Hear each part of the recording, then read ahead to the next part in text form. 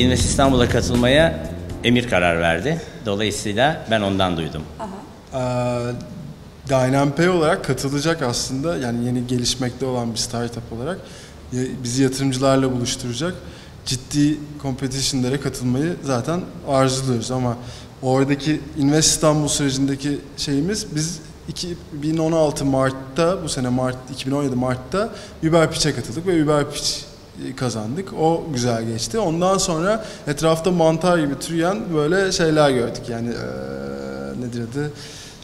Yarışmalar. komple yarışmalar görmeye başladık. Ondan sonra oraya hepsine katılamayacağımız için biraz seçici davranma açısından ekiplere kat, kattıklarına yani programlarına vesaire bakmaya başladık bu Invest İstanbul gibi yarışmaların.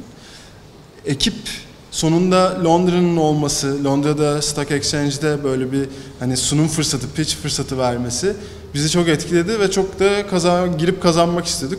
İlk önce ilk sevincimiz girdiğimizi öğrenmemizde oldu. Ondan sonra da Londra'da gidince şimdi gidiyor olunca gayet iyi bir karar verdiğimizi düşünüyoruz. Invest İstanbul neler kattı? Bir kere e, gerçekten e, bildiğimiz zannettiğimiz bir takım şeyleri hem gerçekten bildiğimizi hem de bilmediklerimizle bildiğimiz zannettiğimizi öğrendik. Dolayısıyla iyi bir eğitim süreci, eğitimin yaşı yok. E, çok harika, çok profesyonel bir organizasyon. E, bir kere milletimiz, devletimiz için çok önemli, ülkemiz için resmen bizi milli yaptınız. Biz gidip şimdi ülkeye para getirmeye çalışacağız. Dolayısıyla bu çok gurur verici de bir şey. Ee, her sene olmasını ümit ederim ve inanın ben her sene buraya katılmak için bir proje üretirim. Invest İstanbul diğer yarışma girdiğimiz diğer yar- yarışmalarla karşılaştırdığımızda gerçekten bir startup'ı fikir aşamasındaki ya da gelişmekte olan bir startup'ı hani e, o acemiliğinden alıp paketleyip hazır hale getirebilecek bir yarışma olduğunu Türkiye'de ilk defa böyle bir şey gördük. Tabii. Biz en son iki ay, iki ya da üç ay önce İki ay Estonya'daydık. Estonya'da e, ünlü bir startup competition'daydık. Orada da benzer yöntemlerle çalışılıyordu. Ama Türkiye'de ilk defa bunu gördük.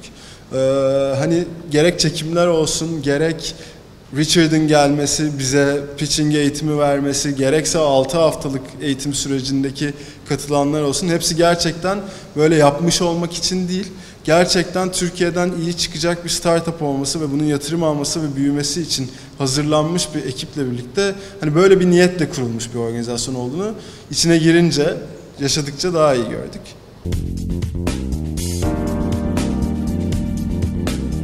Ee, genel olarak şimdi bir yılda bir girişim üzerine uğraşınca insanların Türkiye'de çoğu insan aslında biraz böyle okumuş vesaire kesimden çoğu insan girişim yapmak istiyor. Bu herkese hoş geliyor. Ama herkes istiyor ama herkes ayağını atmaya oraya korkuyor biraz ya da çekiniyor, bilmiyor çünkü ne olduğunu.